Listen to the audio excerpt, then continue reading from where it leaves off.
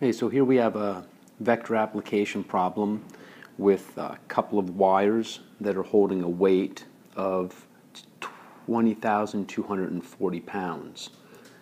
Now, what we're going to do here is break up each of these, the tension on each of these uh, wires. So I've called this tension 1, and I'm going to call this tension 2. And we're going to break them up into horizontal and vertical components. So this uh, tension 1 here is uh, pulling in this direction, and it has a horizontal component pulling to the left, and it has a vertical component pulling up. And then this vector to the right has its horizontal component and its vertical component as well, with the resultant vector uh, being vector t2.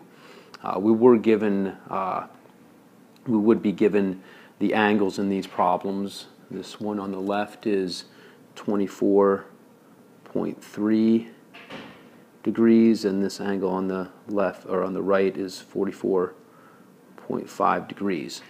Now we're going to use these measures here, these angles and uh, the labels of T1 and T2 to find a, an expression for the uh, components of those vectors.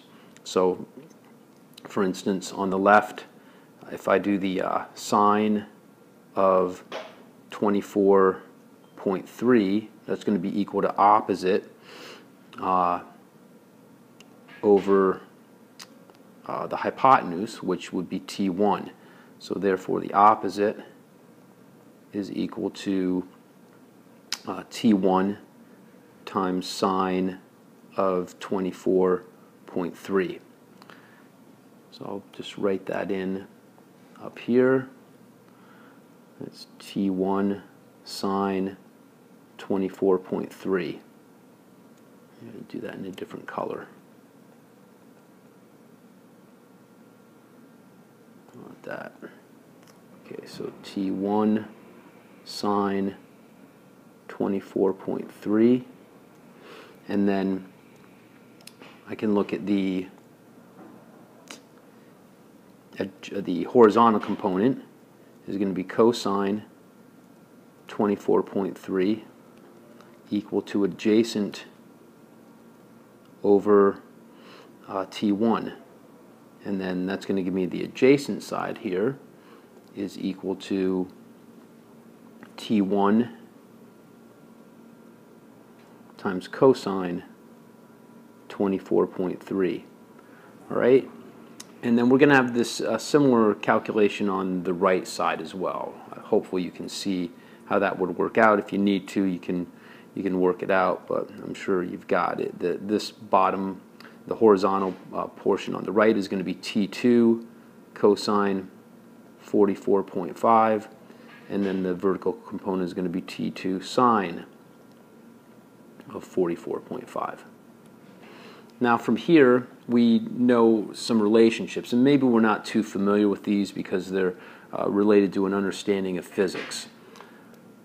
So what that means is that the horizontal the horizontal components are going to be equivalent because the weight or the uh, yes the weight is not moving if it were if the horizontal components were not equivalent then the weight would uh, have to be moving either to the right or to the left depending on which had the greater force.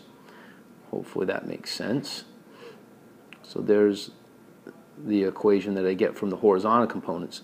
Now the vertical components, what's happening here is the weight itself is uh, pulling down, right?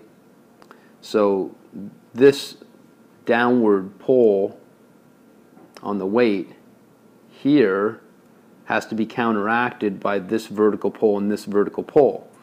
And again, since the weight is not moving, those are all uh, equivalent, or they all uh, zero out, I guess, would be a way to say it. And that gives us this equation that uh, T1 of uh, sine 24.3 plus T2 sine of 44.5, that vertical component is going to, the sum of those two forces is going to be equal to the, this force here, uh, which is the 20,240 pounds. All right, and I'm not, I'm actually uh, going to end the video uh, here and just point out that, that, see, we have a system of equations here. So whenever I get to a system of equations in two variables, I'm happy to be here because I know I can solve uh, for the two variables. So of course, without going through this, we know that I could uh, solve this. Okay, I wrote that down wrong. Maybe you caught that when I did it.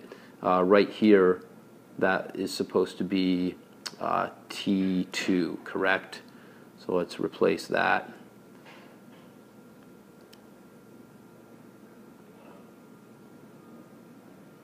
Okay, so that's T2. All right, so uh, yeah, back to that. So now I can solve for, for either T1 or T2, and then whatever I'm solving for, I would substitute for here or here. Then this second equation would be in terms of a single variable, which I could solve for.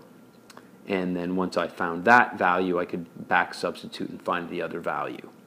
So I'm not going to uh, take you through the process of solving a system of equations, but you can see uh, where it's headed and where it's going to end up and how we would be able to solve for the tension 1 and the tension 2. Now hopefully you can take this understanding and apply it uh, to other applications on your own.